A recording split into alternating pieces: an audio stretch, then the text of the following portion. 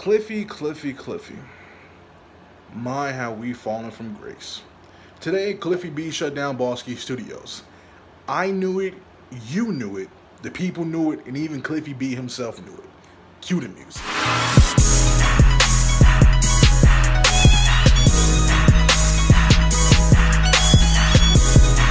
Folks, Demigod Reviews here. I'm gonna make this video as quick as possible because I actually have to get to work in a little bit. As you see in the title, as you see in the video, Cliffy B announces that Bosskey Studios shut down. Notice this isn't a joke. Notice this isn't anything funny. Cliffy B actually announced that Bosskey Studios was shutting down. He announced that, yeah, everything isn't working as he planned, and that he kind of tried to jump on the wave a little bit with certain titles, and that he just needed time to himself since nothing has really worked out for him being with Bosskey Studios.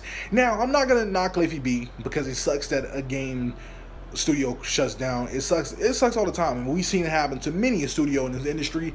But I have to admit, Cliffy, he has fallen from grace. He's fallen from grace, and he's tried to replicate the popular titles and tried to keep up with everything that's currently going on in the wave. Lawbreakers was a game that was fast-paced, you were jumping around, exosuit-based gameplay that we've seen from Call of Duty and Titanfall that people eventually got tired of. And he had team-up superpowers like Destiny and Overwatch.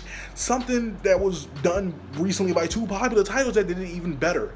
And now you have Radical Heights that's trying to jump on the free-to-play Battle Royale wave that PUBG and Fortnite are holding down. Fortnite by itself is solo in this game by itself. And PUBG is just coming out with the body blows also. It sucks to see that a game developer is shutting down a studio because we've seen Sony Santa Monica in the same boat at one point and they were going through it and then they risen themselves up with God of War.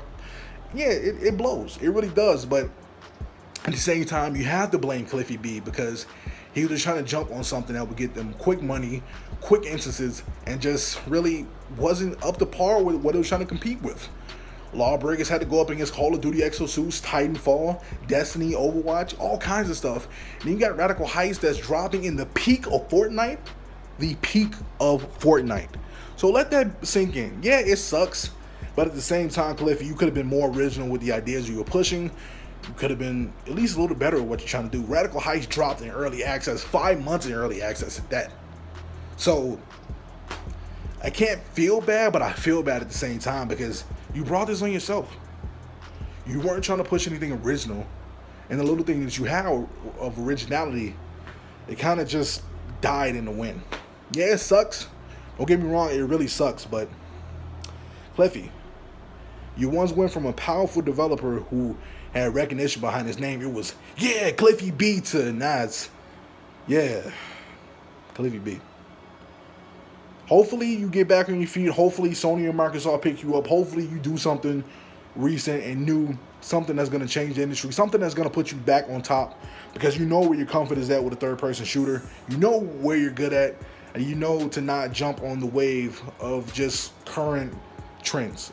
That doesn't work for any developer unless you really have the staying power to continue pressing on.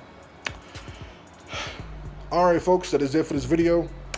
Like and subscribe. Hit that notification bell icon. Check out the past streams of Beyond Two Souls. Check out my God of War review and my Sea of Thieves review. And I will see you in the next video. And until next time and until the next video, we'll tune in, turn up, and throw down. Looking like a GG, and I'm out.